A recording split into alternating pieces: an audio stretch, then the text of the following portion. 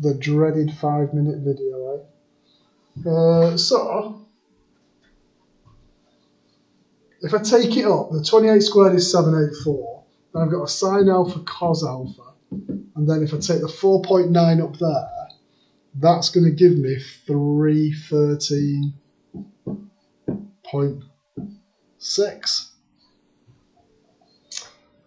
Randomly, if I do 313.6 divided by 784, that's the same as 2 fifths. Now, nicely works out, doesn't it? But I know that sine 2 alpha is 2 sine alpha cos alpha. So a half of sine alpha, sine 2 alpha, is sine alpha cos alpha. And I'm going to use that and I'm going to replace this here. So that's a half sine 2 alpha is 2 fifths. So sine 2 alpha is 4 over 5.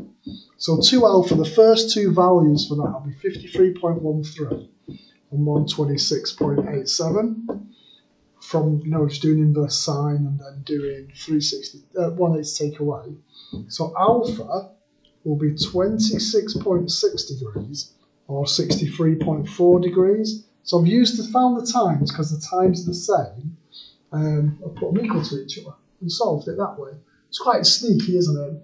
G was minus 9.8, so I went 2 sig fig really, don't I? So 27 degrees, 63 degrees. There you go, that one's done. It's interesting how they've used the time for both. There's a question for you, boing, which is a little bit different. It's about getting over a wall, because it could be. So it says like, uh, two possible angles to get over the wall. Right, then after that, there's some exam questions. So well done, everybody. Bye bye.